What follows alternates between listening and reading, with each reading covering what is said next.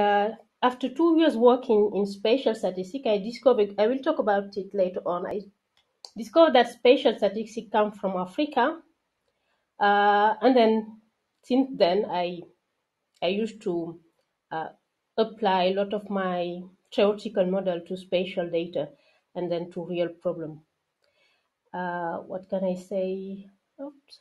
And another deep um, involvement, involvement uh, of uh, say my work in the community is um, about working to promote uh, women in mathematics in, in developing world, in, in particular in Africa. I think that I. Uh, thank you very much, Sophie. So uh, let us go quickly. Uh, the professor, Samuel. Thank you so much, and everyone, uh, welcome everyone. My name is uh, Samuel Mwalili. I'm a professor of statistics at uh, Kenyatta University of Agriculture and Technology. I'm also adjunct professor at Strathmore University, where I did a Center for Health Analytics and Disease Modeling. I did my master's and my PhD both from Belgium, that is uh, Hasselt University, and also Leuven University, both in Belgium. Uh, then actually I joined university in uh, 2007. Then after that I left and joined the Center for Disease Control. Uh, that, that's the US Embassy in Kenya, where I've worked for eight years. And that's where now my interest for disease uh, came in because I was actively involved in HIV, that is a national estimate, where we're estimating the burden, the impact, uh, and the needs uh, for HIV models and things like that. So after that kind of way, turned myself into a disease modeler where I did uh, some trainings, both at Imperial College in London, I think twice, and also at uh, Institute of Disease Modeling in Seattle, US, where I've been also trained on disease modeling. So by my training, my initial background is about statistics, but as time went on over time, actually I crossed to applied mathematics, where now I'm doing a lot of disease modeling.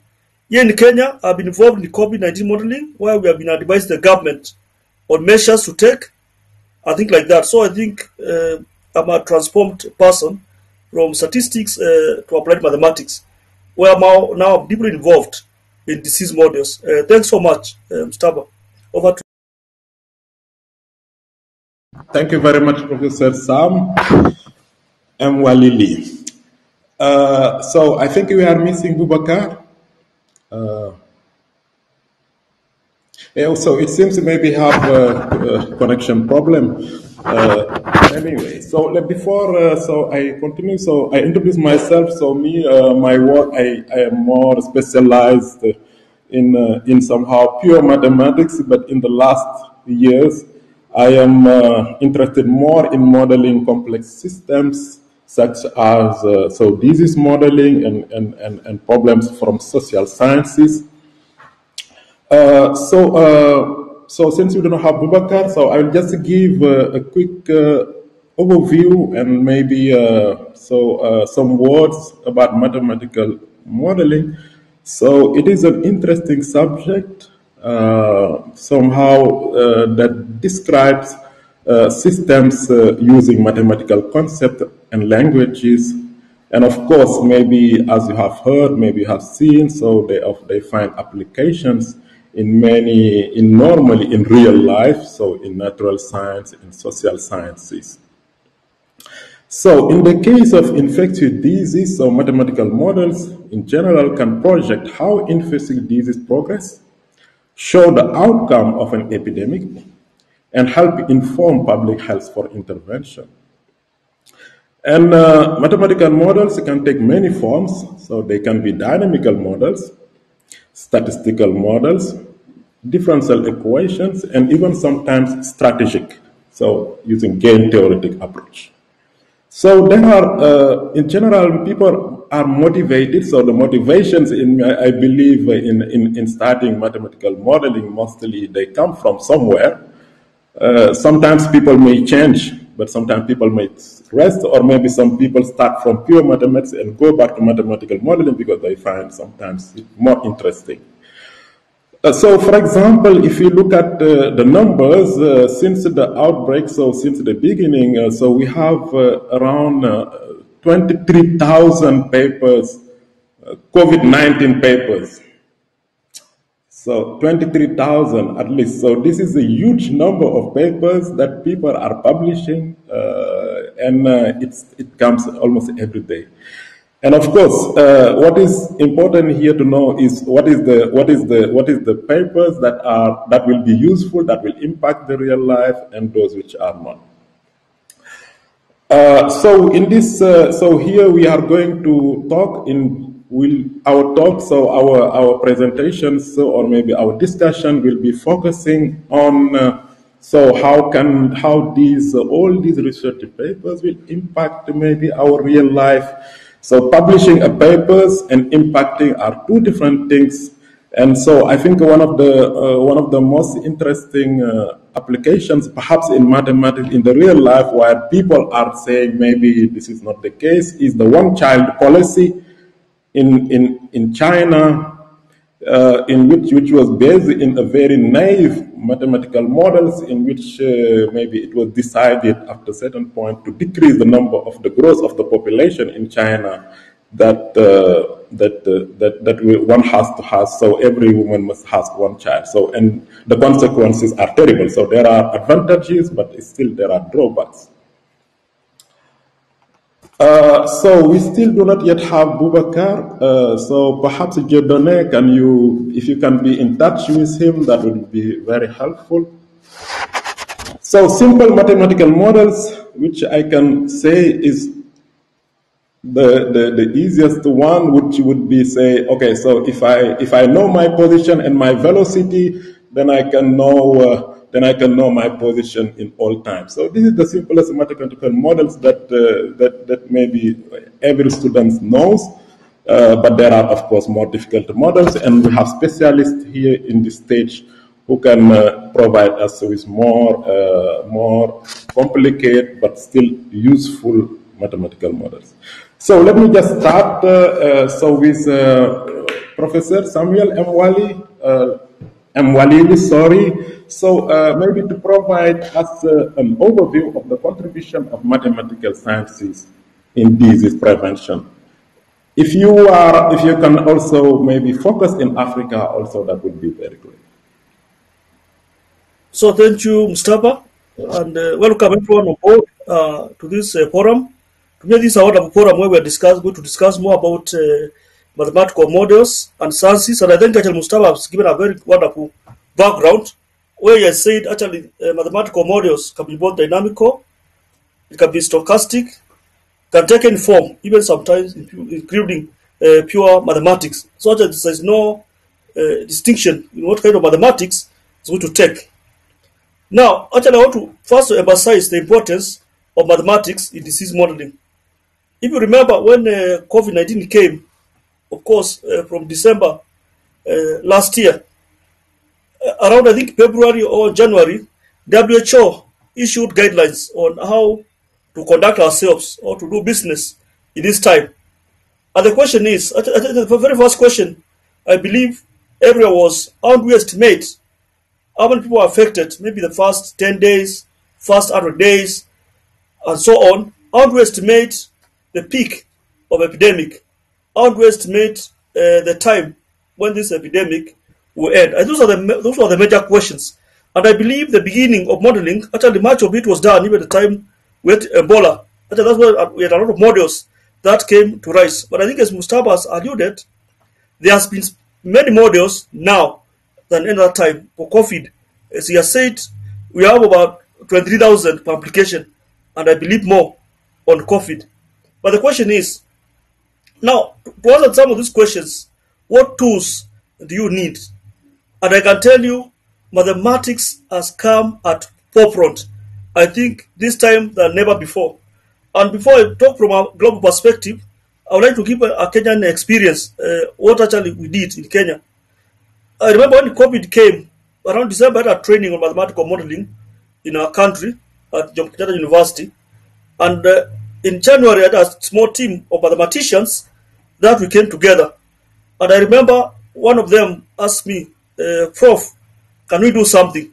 That time there was no COVID in Kenya, there was nothing happening in Kenya, but we decided let's form a modeling group. It was quite amazing. Around February, uh, I got a call from CDC Nairobi asking Mwalili. I remember actually I was working in CDC, so I just resigned. I just resigned from CDC uh, from last year. Then he asked me, "Are you doing anything on modeling?" Actually, I was surprised that I was ahead in time with my team because we had prepared a manuscript even before the very first case in Kenya. And therefore, they called myself and my team and we formed a national uh, team in Kenya that was to advise the government and the ministry on the measures to take. And I remember the very first question was, what would be the impact of uh, non-pharmaceutical interventions in Kenya? If, for example, we close the schools, uh, the government imposes curfews, the government imposes travel restrictions. What are the impact?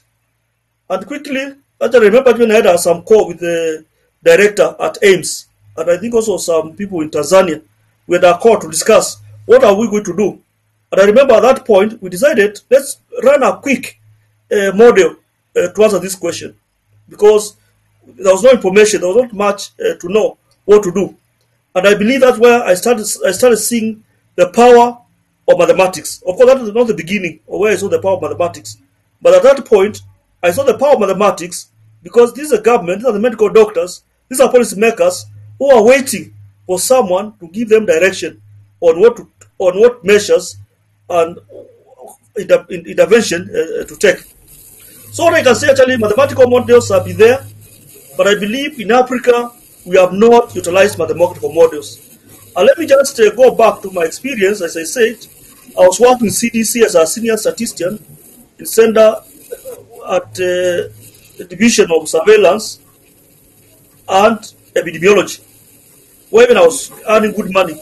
But I decided to resign because the first 10 years, much of the modules that were done uh, for HAB were done by guys from Imperial College, people from New York, uh, and from other countries.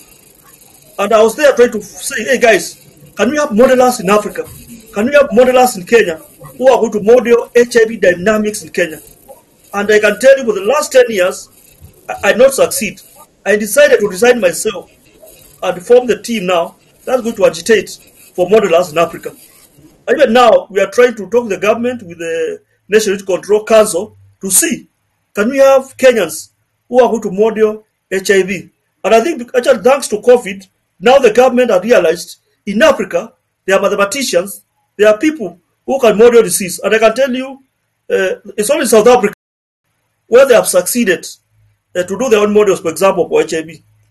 In Kenya, we still use Spectrum, we still use UNAIDS, we still use uh, WHO.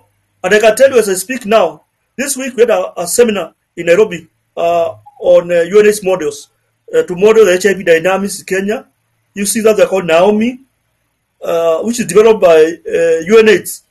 And to me, I'm not opposed to UNAIDS, I'm not opposed to Naomi models, but I'm thinking it's high time we have our own homegrown model.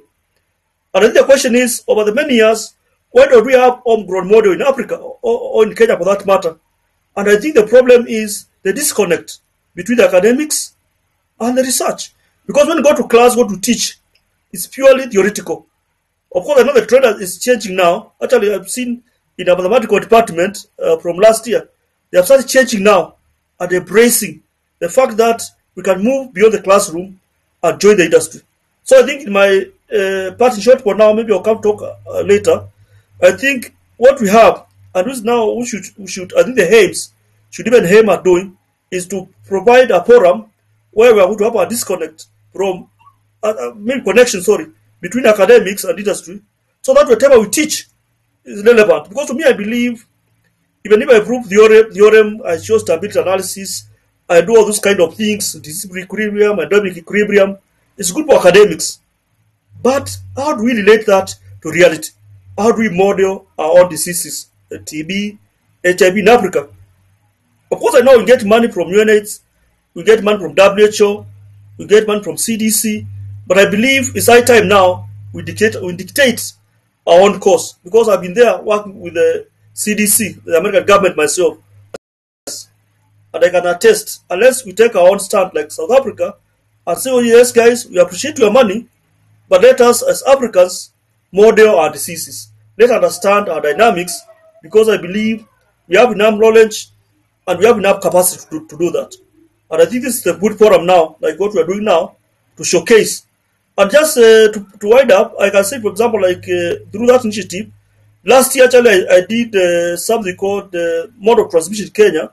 So I was given the contract to the model expert to model the model transmission in Kenya, which has, has never been done by a Kenyan. It has been done by people from Western. And that was good actually. And something actually can also help. Even you can try to do for other countries so that you can do the mode of transmission of HIV, other diseases, without necessarily being done by individuals from Western world. So there is power mathematics, but more so if we do it for Africa as Africans. Thank you, Mustafa. Over to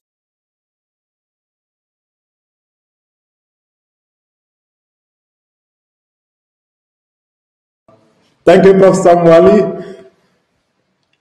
Uh, so I think about Bubacarr, so you will have uh, the chance to stay for a few minutes before your connection will disappear. Uh, so thank you. Uh, so Prof. Samwali, so uh, it is an interesting point so that you are also here, that you have been doing mathematics uh, data analysis and also working with decision makers. So this is an important point, and uh, so I think we will come back to this later on. So Bubacarr, so please can you quickly introduce yourself and also just maybe tell us your research work quickly.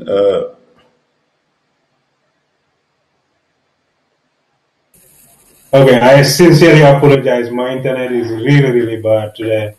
Um, uh, I'm Bubacarr Bah. I am uh, based in AIMS, South Africa. I'm the uh, the Humboldt research chair, German research chair for mathematics of data science.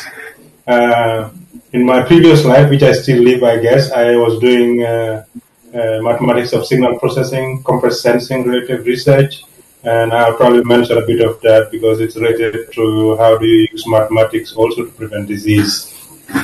So currently we work on different uh, questions around machine learning, data science, and, and deep learning. And we're interested in both theoretical questions, the mathematics that try to understand, make us understand how these algorithms work, and we can give rigorous guarantees why they work the way they are working and also, but also we want to apply to real life problems like uh, problems come from agriculture, health, or energy. Uh, these are some of the problems we're working on right now. Uh, thank you very much, Bubacarr. So, uh, so we were in the subject. We were talking about uh, mainly uh, so about the participants in this panel to provide an overview on the contribution of mathematical sciences for disease prevention, in particular in Africa. So we, there will be no problem also when you focus, if you focus also in the field of research, or maybe if you can also, like Professor Samuel Mwalili, so maybe if you have worked with decision makers or anything, so just to give a quick overview of uh, how do you see the contribution of mathematics in uh, disease modeling. So uh, I will just give the question directly to Professor Sophie Dabo. Thank you, Mustafa. Um, okay, I'm going to talk about a field I know very well, um, namely spatial statistics. To, a few words before um, saying something in this field. So I can say that African scientists always made um, important contribution to mathematical science. But I think that we have problem in Africa to highlight uh, our contribution.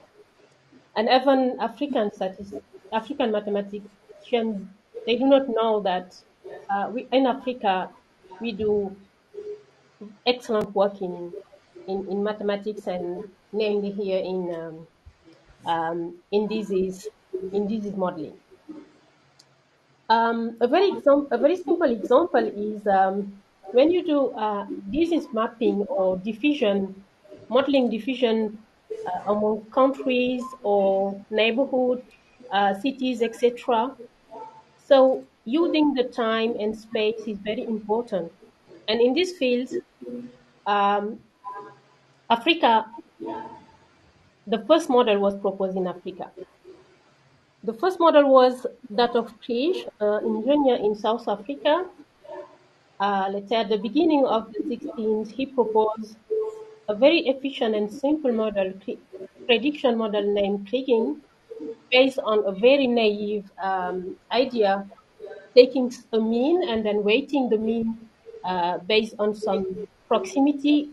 And he proved that the, this prediction was the best, um, let's say, linear predictor available um, when you support that your, your data is Gaussian. And among the more than 20, 23,000 papers on COVID Mustafa talk about, some of them are dedicated to um, diffusion modeling, modeling the diffusion of, of the, the disease, and also mapping the disease. And most of them use spatial statistics. And nowadays, even in uh, big data problem in machine learning using kernel method, uh, spatial statistics is used, namely Kriging prediction method, even if data are not have not a spatial component. So the prediction of the prediction model of Krige is used, and this is not sadly this is not known in Africa. In the other uh, countries, it's well known and used every every day. Um, and I can say proudly that uh, some of the modern technique in statistics, when you have time and space or only space component, they use spatial statistics. And then they use the work from Africa. And this is typically uh, excellent example to say that um, um, African scientists always contribute to mathematics, but this contribution. While we talk about millions and 100,000 may not scratch the surface, but it was still kind of getting into the right direction. Uh, we have another organization here in Kenya called Kitabu.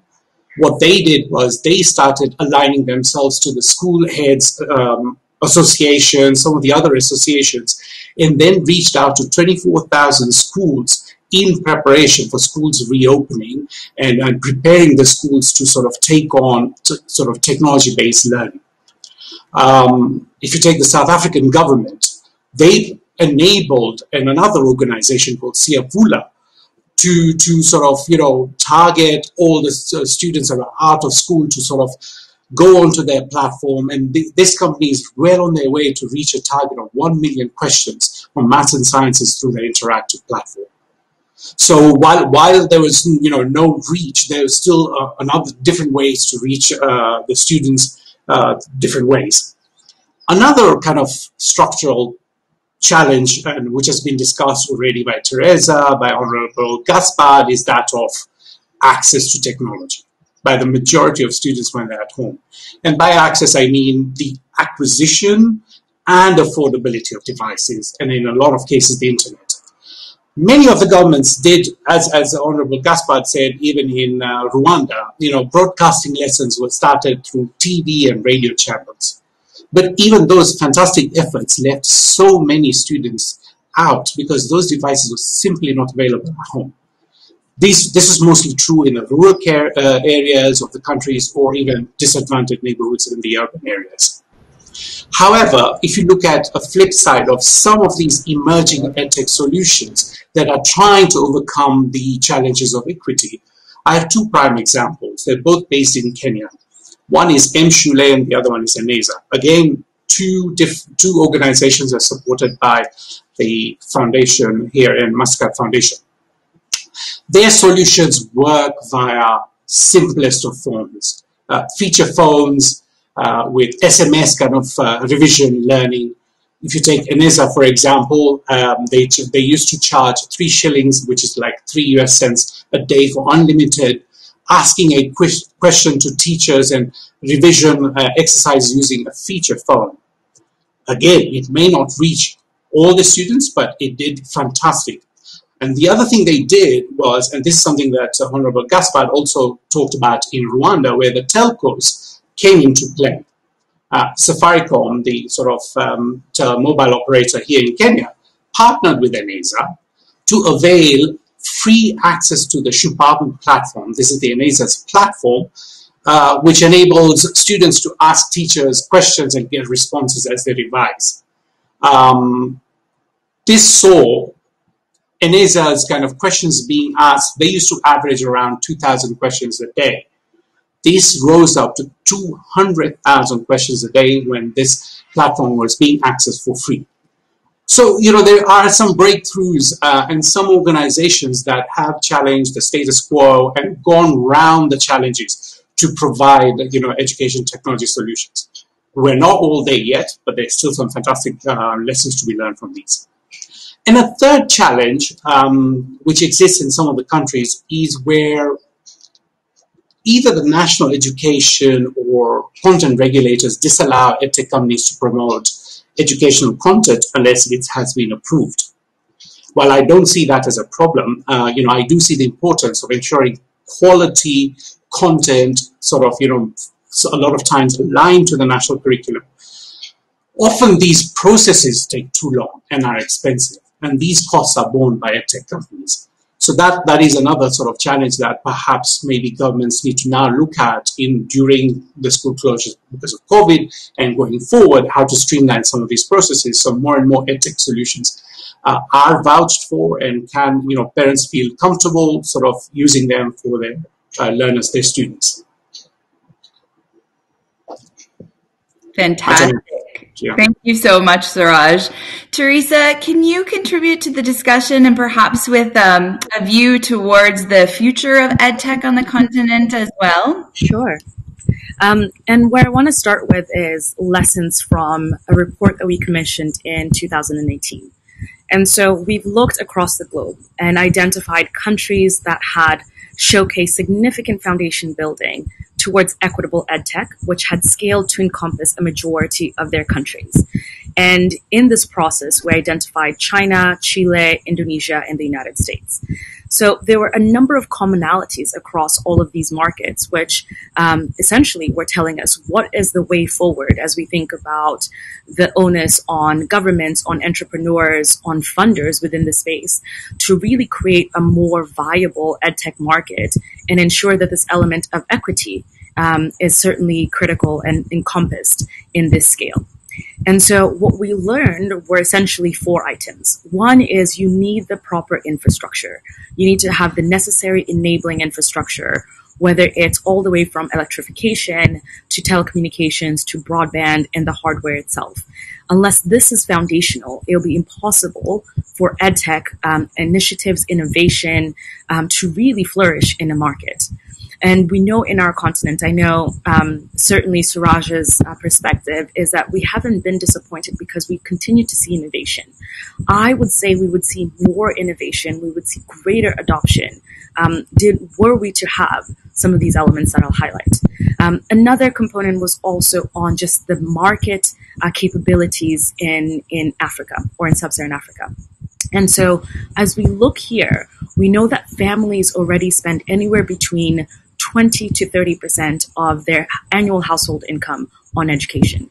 And so when you think about shifting that to now affordability of additional um, access to tools, to devices, to content, you're asking that much more of families. And so where does the onus lie for actually supporting and funding some of these initiatives um, is one of the queries that we have. And so as entrepreneurs struggle to understand the market dynamics of what works and what might, might be a future, I think a critical component has really been the role of government, of clear procurement policies that enable and partnership with edtech entrepreneurs that enables them to actually succeed and create a market. So unless you found and create and um, scale a market for entrepreneurs, unfortunately, what we'll see is more edtech entrepreneurs shifting to other industries, and that is a significant loss for us. So what can our governments do to create a more viable opportunity and landscape for our entrepreneurs. Um, the other of which, uh, and I think this is a really critical one, is simply around this, the support, whether it's financial or it's human capital. Now, in the Africa region, we know that only 3% of venture capital funding goes to the education sector, of which edtech is even a smaller percentage of that. And yet globally, it's a quarter of a trillion dollar industry, and we're not funding or financing it enough. So I think a lot of the things that we've seen is our entrepreneurs doing what they can. Um, however, it is a truly difficult market. And I think one of the most um, the critical takeaways that we've seen from this period is the element of um, inequity that the digital divide has shown us. Usawa, Usawa Agenda in Kenya, which is a research organization, highlighted that only 22% of learners in across all of our counties have access to online learning materials. And whereas most are accessing through broadcast, whether it's radio or television, there's still over 50% who have access to none of these tools and platforms. And so we really have to ask ourselves, how are we building the foundation for the future? The reason I think we were disappointed, I think the reason why we've seen so much um, inequalities has been because we simply didn't build the foundation. And so now that we know this, let's ensure that we are putting forward the necessary policies in place, that we are engaging with public sector and private sector individuals and innovations and entrepreneurs to ensure that we're not in the same place should we have um, not only a, a pandemic, but opportunities for us to really engage learners and meet learners where they are. Because ultimately, technology is a tool that can be utilized for good. It is a tool that can be utilized to connect to unite truly in unprecedented ways. But if we don't pay, pay attention into ensuring that it's democratized, ensuring that it truly is flexible, that it is affordable to learners, what will happen is we will have a divide of those who learn and those who do not, purely based on those who have and those who don't. And I think that will be an incredible shame for our continent. Thank you so much, Teresa. I think that's an inspirational vision for the future of EdTech across the continent. Um, the next question sort of continues on the theme of EdTech and technology for education. Um, and Suraj, I'm wondering if you can speak to us a little bit about some of the lessons learned in terms of ensuring that teachers and lecturers are adopting technology in the classroom and comfortable with using it. So I think um, not only were students caught out by the you know uh, lack of the loss of learning, but I think teachers themselves are also at a loose end where they were would have liked to continue some sort of remote learning, but simply did not have the means. Uh, some of the ones that I've already uh, reached out to is you know how to connect with the students already at school, but even the devices or even the know-how. Uh, so as now countries fast track their e-learning strategies. And something Teresa mentioned was very interesting. Uh, she said, it's the pandemic. And, and, I want to add on to this. Next year, it may not be a pandemic. Some, some countries may go through, uh, you know, ravages of war that forces uh, students to stay at home. Um, another year will have um, natural devastation that forces students to stay at home for, you know, months on end or weeks on end, again, resulting in a lot of loss of learning. So the e-learning strategies are something that I think, I believe, I want to say every government is now putting their heads together to say we need to come up with e-learning strategies. But as they do that, let's bring back the teachers and lecturers into this, this conversation. I think the first point of action of all these e-learning strategies would be to upskill teachers in parallel to even as they kind of de design the device, etc. I, I accept uh, Teresa's point that you know more than 50% of students tend to have not have the relevant technology, whether it's radio, TV, phones, computers, internet, etc. But even as that cog kind of is developed into how you know we will reach, the very critical point is the teachers and lecturers. So I'm going to suggest a few things here. One is to you know increase their literacy. So there, there are several levels of learning when it comes to technology. One is basic digital literacy. Can teachers use devices to understand how to use technology and um, the internet, etc.? Then there's a second level of training where it is you, you know you kind of put your social media off using devices on the side and say how does integrating technology in the classroom kind of work so that's a, like a middle level of uh, you know literacy required and skills required and the third one is the one of e-learning look it is one thing to be able to successfully use whether it's a smartphone or it's a actual laptop uh, and the internet But it's completely another set of skills to be able to remotely run a classroom, which is required in e-learning. So that also level of training is required. And I think these need to be put on a priority level.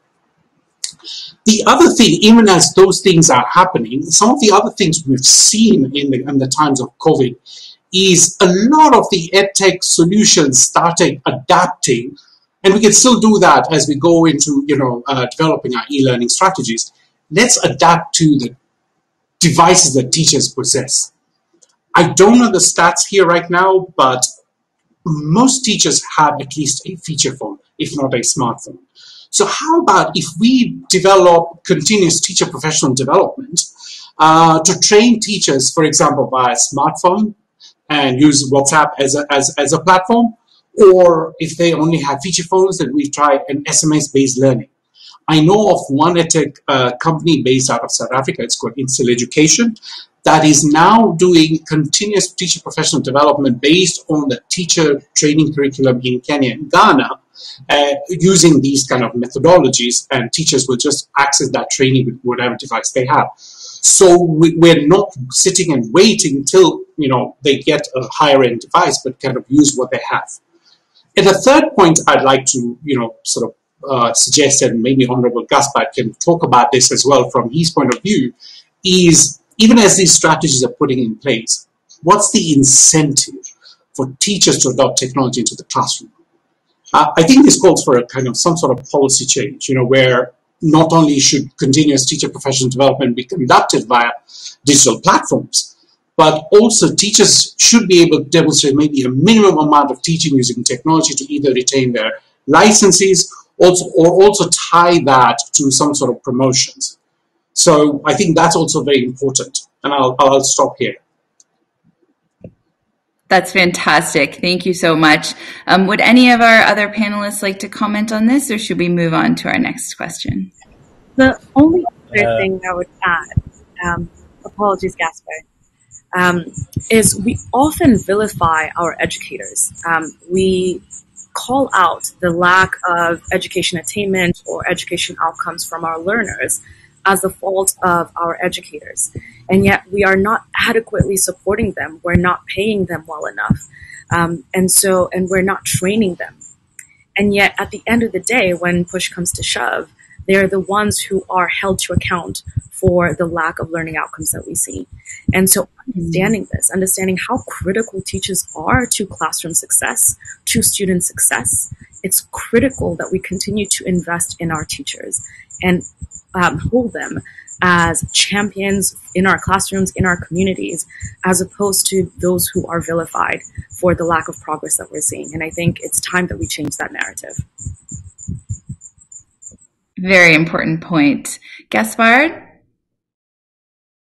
Uh, yes, I would just want to quickly comment on uh, uh, the question that was asked before about what are the incentives for uh, the teachers to use uh, uh, to use technology. So I think what you have found is that the teachers actually naturally want to use technology because if we are if we do it right, and then technology will actually have uh, for teachers, we have actually some of the benefits because it may reduce actually on the amount of work that they have to do uh, to do at, to do at home. So it may uh, actually let them uh, take the work where they go. So if their if their phone is now their primary tool of teaching, then it's a phone they have everywhere, so they can do all these things uh, wherever they go. So uh, we have found out that this is something that they naturally want to do.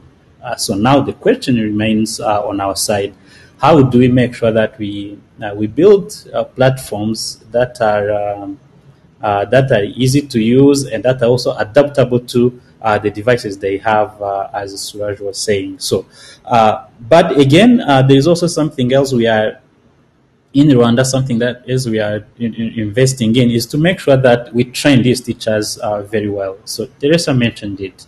Uh, so we want to make sure that we build partnerships so that the teachers or the future teachers who are in training receive proper training, and by the time they graduate, they will have digital skills that are certified. So they will have that certificate to say, you know, uh, I not only can I uh, use uh, some of these technologies, but I can use them to teach. So training is very important. building a platform